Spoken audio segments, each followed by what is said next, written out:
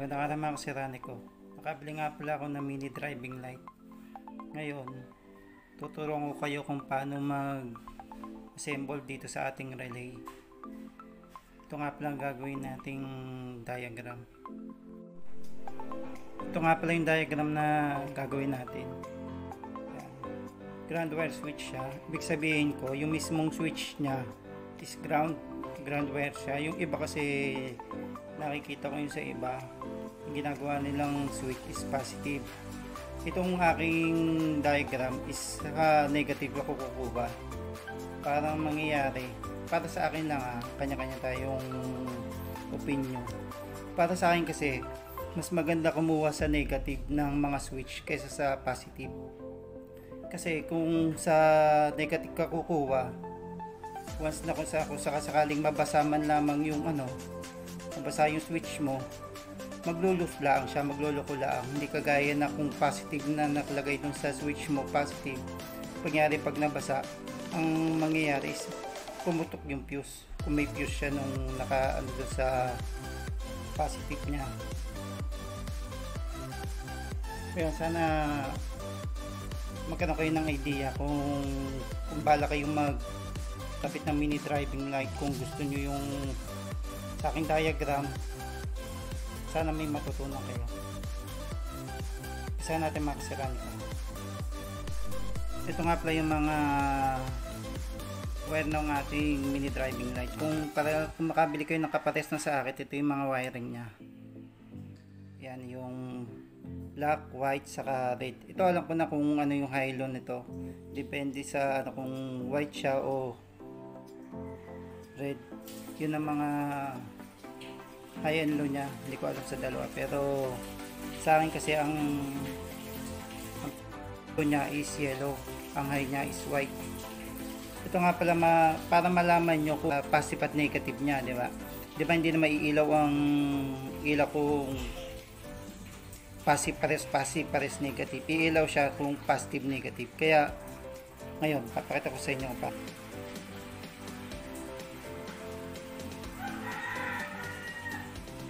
ayan umiilaw siya. Ang gamit natin yung black wire siya. Yung yellow. Ibig sabihin ko ito yung pinaka main nya ito yung lalagyan mo ng positive o negative. Dito sa ating diagram na gagawin kung nakita nyo yung diagram black na to positive positive itong mapupunta. Sa positive kung nakita nyo yung diagram natin ito nga pala mga kasirani ko. Ito nga pala yung ating switch dominant switch nga pala ito.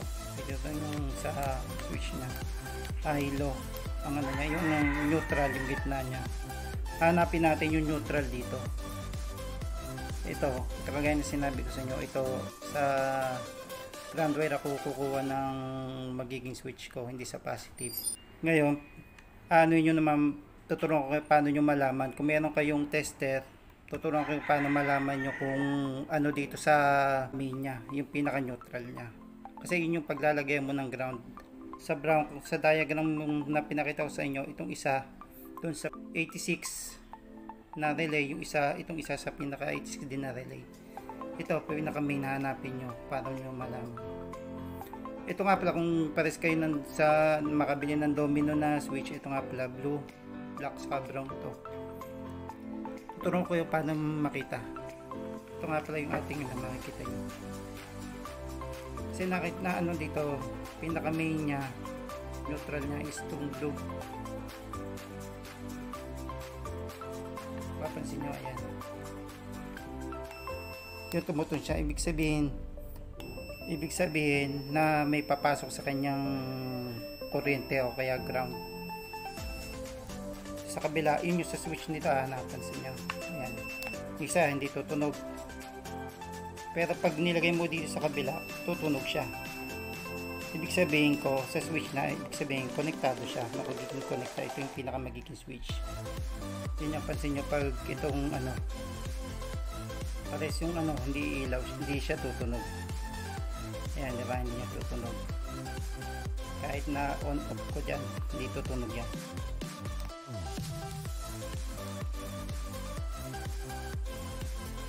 Hindi kagaya nito, pinaka main niya, yan. Bago pag ano sa pintay sa kabila, wala naman siya, hindi siya tutuloy. Kaya nakikita nyo naman sa ano niya.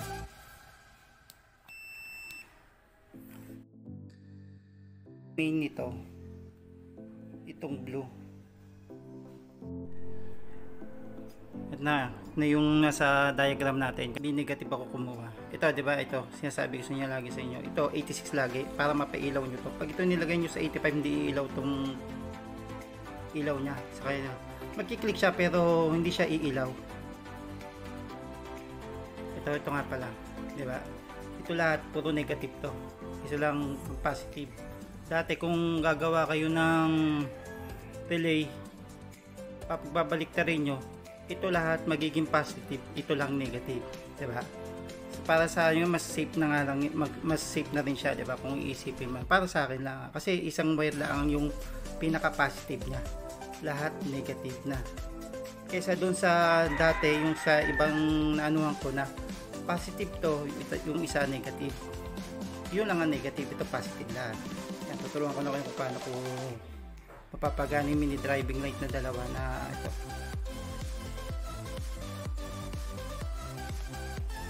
Ito isa positive. Sa 86 to, 86.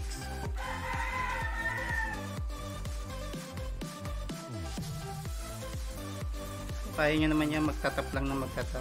Ito lang naman ng ano dyan, yung 86 na positive. Saka ito. 30 to. Kukonekta to. Nakakonekta sa negative. Ayan, naka negative ha. Yung 30 yan, negative. Ito para sigurado tayo dito.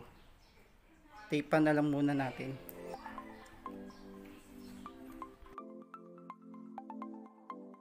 Kasi lang pag napatigit yan, sigurado yung fuse putok.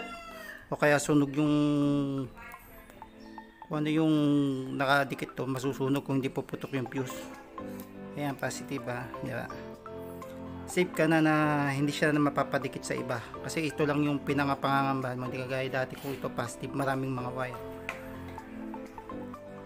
Ito negative naman siya. Ito lang yung positive tayo nag ano, nangangamba.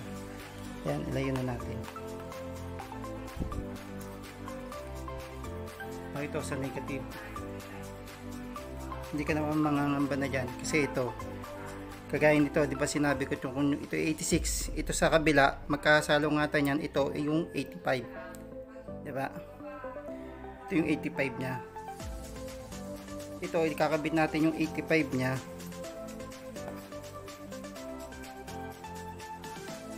Yung sa switch. Ito yung switch.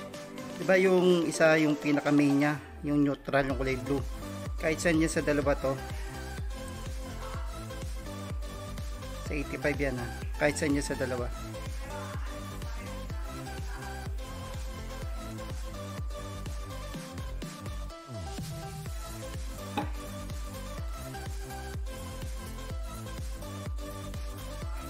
Ito pwede nyo naman ikabit kung saan ground na malapit. Pero sa ano mas mas maganda ilagay nyo na to sa 30 Diba ito yung 30? Doon nyo lang siya ilagay.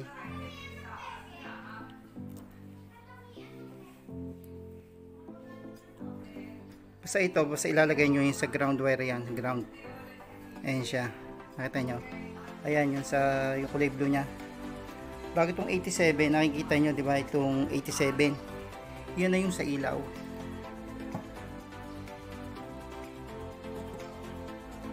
Yung sa ilaw. 'Di ba ito yung dalawang ilaw natin eh. Red pagsasamahin na natin yung light saka white. Kasi pares naman yan magka ano yun hilo yan eh. Itong isa yung white. High positive nya itong pinaka positive nya yun na ilalagay natin sa pinaka ano yan sa mga fuse, di ba? Hindi ko na nailagay. May lagay ulit.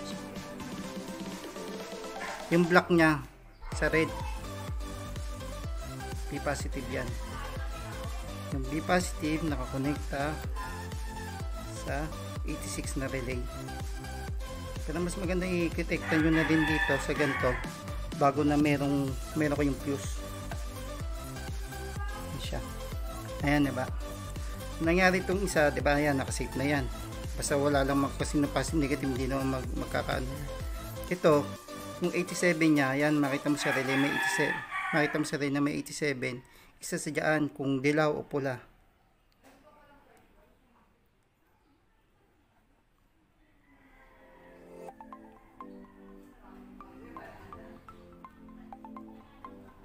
Ayan na. Ito na mga kasirani ko. Ko, paliwanag ko na lang ulit. Paliwanag ko na lang. Yung B positive, ayan, ito yung pinaka mini driving light niya, yung, yung kulay itim. Yan, sa 86 yon Ayan, kita nyo. 86 bagong itong isa sa mini driving light to, 'di ba? Ito yung 87. Ito yung high or low, hindi ko malaman sa dalawa kung saan yan yung high to. 87 yon. Sa isang relay 87 yung sa isang relay 87. Ayan siya. Para hindi ko muna binalutan para nakikita nyo kung saan ko nilagay. Bago yung pinaka negative niya, 'di ba? 30 yung pinaka negative niya ito 30 B negative niya 30 tapos yung B negative 30 yung sa pinaka switch niya ito yung switch niya yung kulay azul. Di ba sabi ko yung pinaka neutron niya pinaka main yung kulay blue niya yon tinap ko na rin yung sa mismong ground.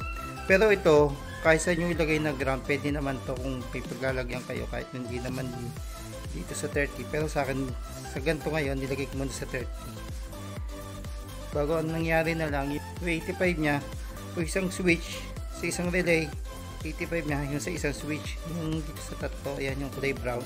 Bago yung kulay itim niya sa 85 din. Yan mga kasirani ko. Yan natatang. Yan sana nakita nyo maigi. Hindi kayo ano. Yan pansin nyo hay niya. Ay, ay na kasi nito. Kulay, kulay white. Ayan nakita nyo may ilaw. Low ah, pansin nyo high low pati siyang umiilaw ibig sabihin may dumadaloy siyang kuryente ayan, ayan napansin nyo sa kanan ayan. Yan ang kinaganda naman dito sa atin. Uh, na sabi ko na sa inyo kanina mas maganda yung positive wire natin. Isa lang. Ito lahat negative.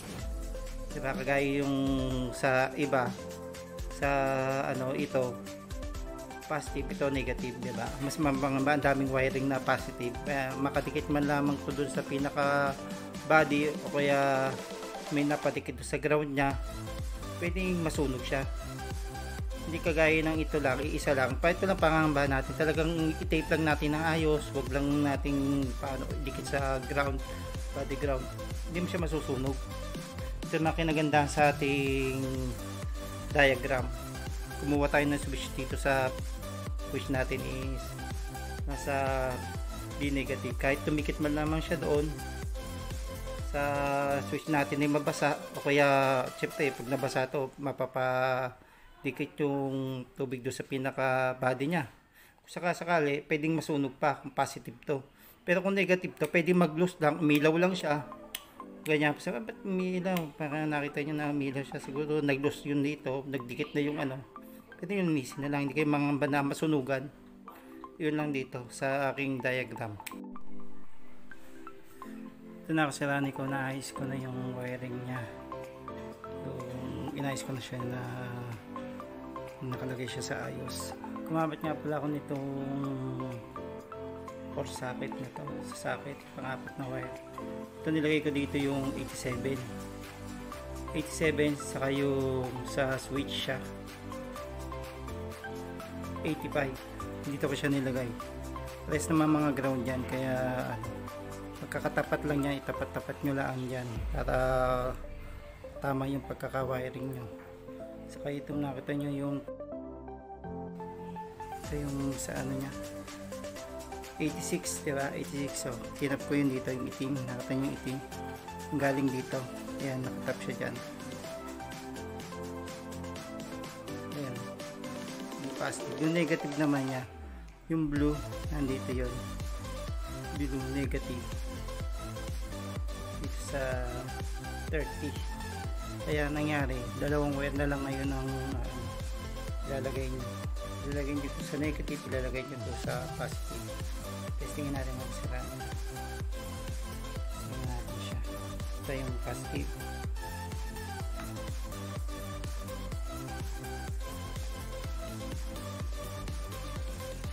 Yung negative niya. Yan ah. Ito yung pinaka-switch niya.